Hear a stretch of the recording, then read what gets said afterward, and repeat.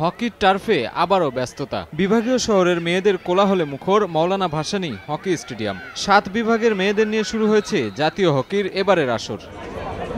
দিনের প্রথম খেলায় মাঠে নামে বরিশাল ও রাজশাহী বিভাগ। আর দ্বিতীয় খেলায় মুখোমুখি হয় ময়মনসিংহ ও খুলনা বিভাগের মেয়েরা। প্রথম খেলা গোলশূন্য ড্র হলেও অপর খেলায় খুলনা বিভাগ চার শূন্য গোলে পরাজিত করেছে ময়মনসিংহ বিভাগকে। এদিকে, বছর জুড়ে হকির মাঠে মেয়েদের ব্যস্ত রাখতে ফেডারেশনের উদ্যোগ নেবার কথা জানায় কর্তৃপক্ষ। পাশাপাশি এই আসর থেকে ভালো খেলোয়াড় বাছাই করে জাতীয় দল গঠনেরও আশ্বাস মেলে। জাতীয় যুব মহিলা হকি দল যদি করতে পারি that will be great achievement এবং মেয়েরা পারবে আমার মনে হয় সব জায়গায় ভালো করছে। প্রত্যেক দল থেকে যে অ্যাটলিস্ট আমরা তিরিশ চল্লিশ জন মেয়েকে বেছে এদেরকে প্রশিক্ষণ করিয়ে আমরা চেষ্টা করব জাতীয় দল করার জন্য।